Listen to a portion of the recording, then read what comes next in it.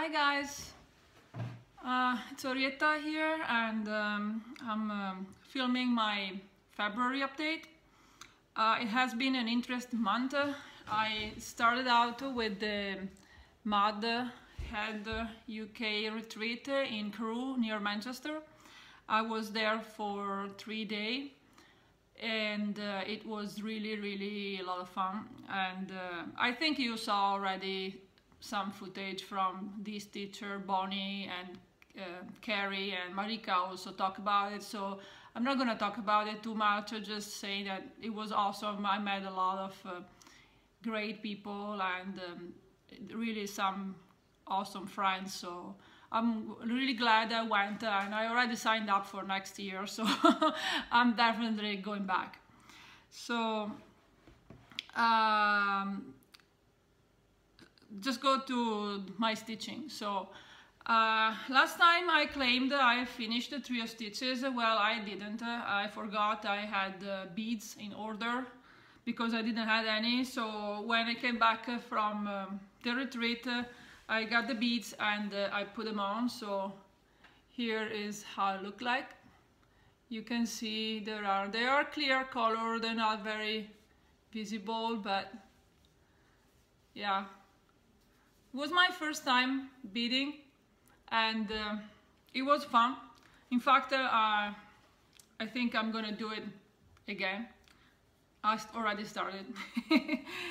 So that was the finish finish object. Not fully finished but fully stitched and beaded as I forgot. Okay so then um, at the retreat I was supposed to stitch. I didn't stitch much at all because uh, I had a bad migraine most all the time. So uh, I ended up doing uh, my thread card for uh, the two projects um, I was knitting uh, and um, I just did a little bit of stitching uh, on um, Lucy piece, the dragon rip, I stitched part of her black and she made part of my thread card as we were got we bought bored and we decided to swap boring job hoping it would get better and it did so, and, and the other thing I did, I did a little bit on the Daisy Blue, but uh, not much. So, um, I, I, everything you see, I stitched after I came back uh, from the retreat. But uh, before I talk about uh, Daisy Blue, I want to show you the frame I made. I worked all this morning sewing. I cut the pieces and saw my frame and um, I had this idea for quite a bit I thought and thought. I wasn't really sure how to do it. I'm, I'm, I can't even say I'm a beginner at sewing because I'm, I'm not even a beginner. I just improvising as I do most of my stuff. Anyway, I wanted to do a frame cover that was uh, going to work, uh, that was going to be always on the frame. So I could leave it there when while I stitch when it's mounted on the stand and uh, then it could stay on when I put the project away to work on another one. So uh, what I thought about was something that I'm gonna call the curtain frame cover. Uh, um, words are escaping me today, so bear with me. So uh, what I did was uh, I saw a cylinder of fabric and then uh, I put some, around some elastic thread around a few parts and I made it big enough so my frame would fit either even when um, when it's uh, you know uh, left uh, um, not in tension and then even if I tension it all the way it would still fit. So the way it works is uh, it just uh, wrap the entire length of the frame and when I have to, I'm stitching on it what I do is I just pull up this and uh, the clamp will be here on the Lowery I have the long extension for the um, extension for the long frame.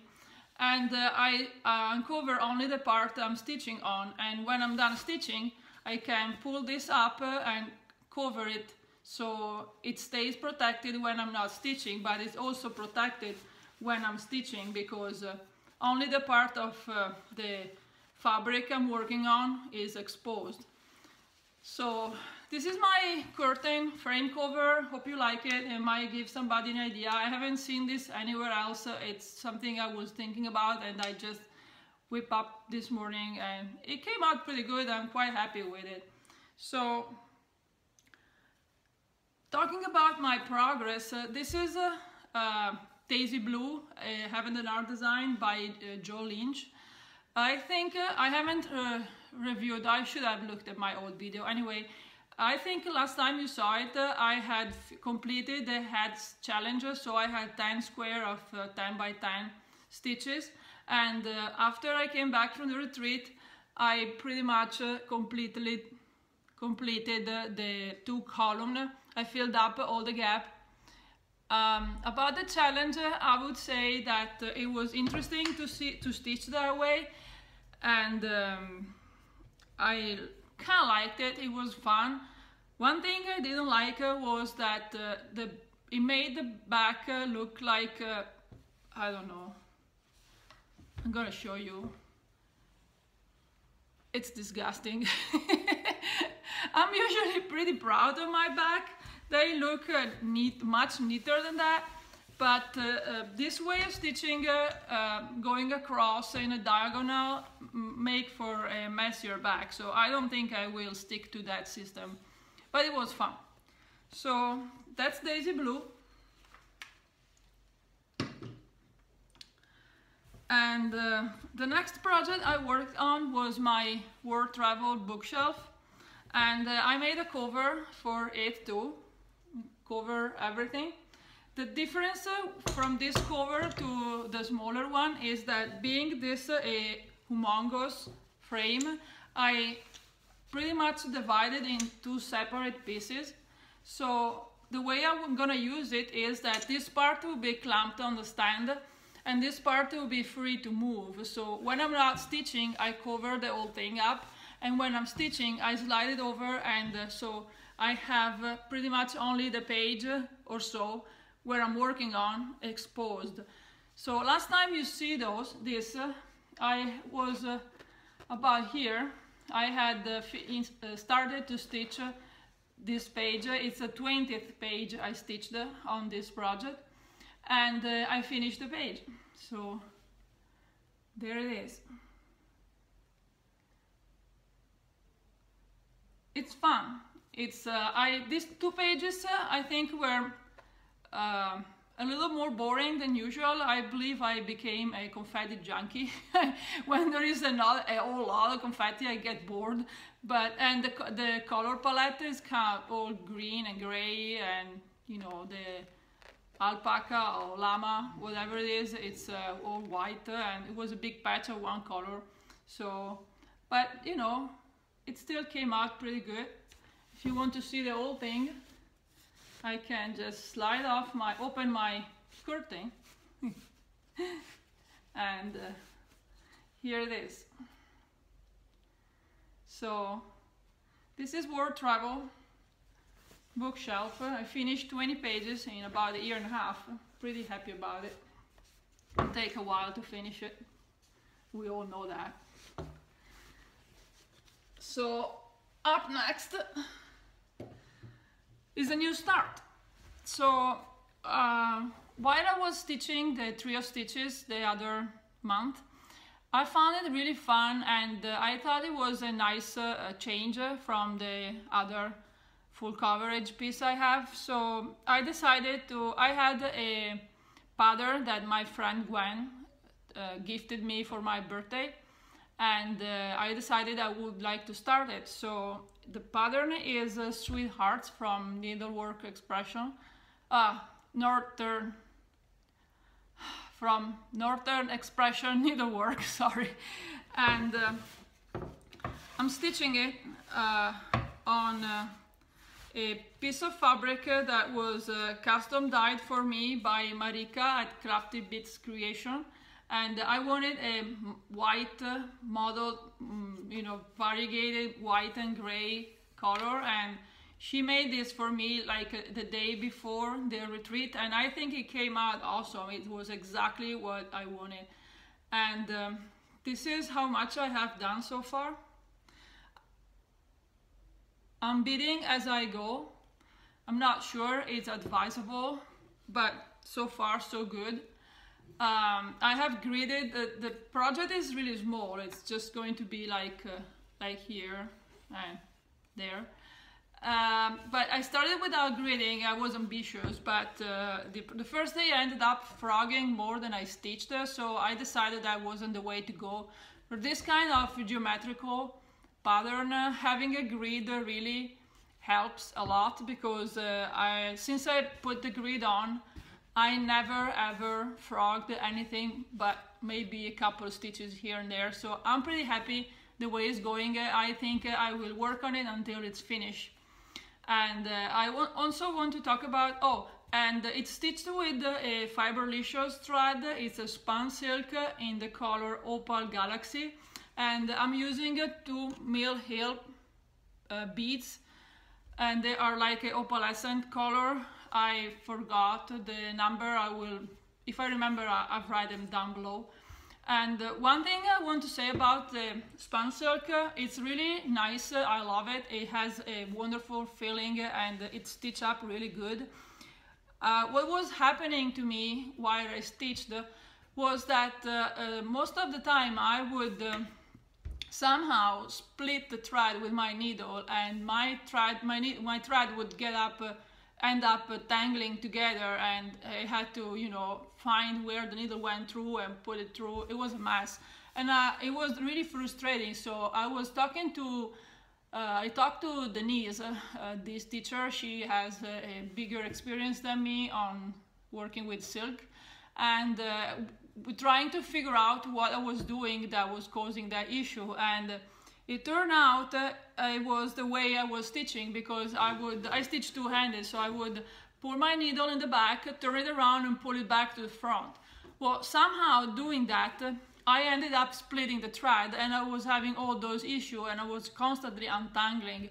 So now I make sure I pull my thread all the way to the back and then turn around and pull it all the way to the front.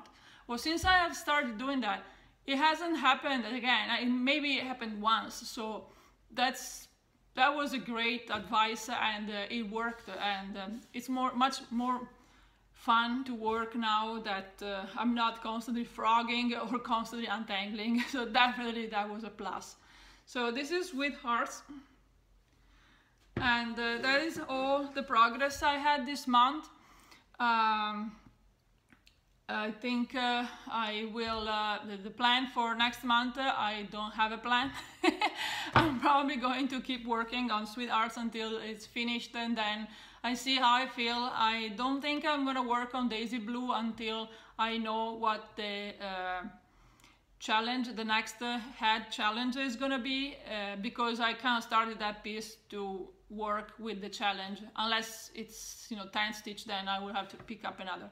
So after I finish this, I either will go back to world travel or maybe I pull out uh, Dragon Rip and do a little bit of that, but I don't know.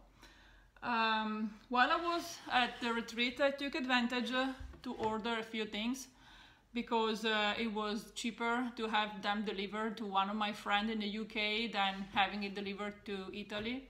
So um, picked up a few pattern and I'm gonna show you quickly. The first one I, I picked up, uh, um, it's a Victoria sampler and it's called the Desert Garden sampler, sampler. And this is how it look like. It's uh, a picture of different uh, uh, garden in a desert environment and I thought it was really nice. And uh, I bought it together with the thread and bead pack, pack from so and so because um, I actually found this before I found this and this was 50% off. And this was like uh, also heavily discounted so I thought it was a, a, good deal and I really like the design so it's probably going to be started soonish. I don't know. Then the other purchase is uh, something I have been drawing over for a very long time. And um, every time I look at the pattern I really say uh, I don't know. And then uh, I and then John at the Thread Garden post an update and show her version which is stitched in all in one big piece. And I said oh my god I have to have that. So yeah I got the Prairie School alphabet all of them.